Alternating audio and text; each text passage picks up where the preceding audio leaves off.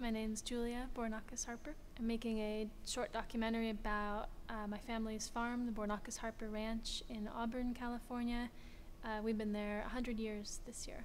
I was born in Auburn. I grew up on the farm and uh, traveled around, moved around, and kept coming back. So now I live there.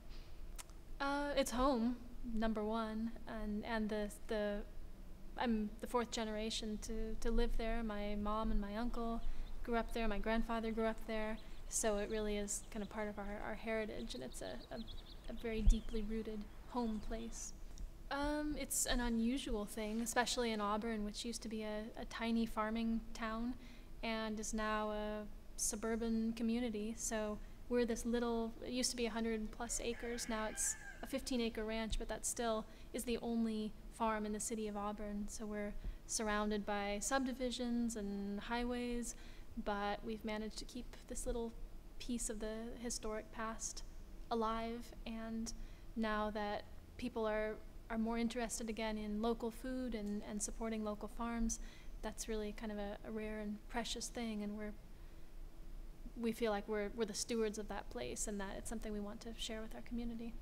So doing that for 100 years, watching how things change, but some things have stayed the same. My grandfather was in San Francisco. He ran a restaurant there, but when he was finally able to send back for his wife to be to come over, um, he decided that San Francisco was no place for a woman in those days. It was too dangerous, too too wild. So um, somehow he, he found this little piece of property up in the up in the foothills, and we're still trying to piece together the story of exactly how all that came to be. It's interesting in that there, there's a lot that we don't know just about the history of the farm, what was there beforehand. It was some kind of a homestead, but um, I think something surprising has been just how many pieces of history aren't recorded.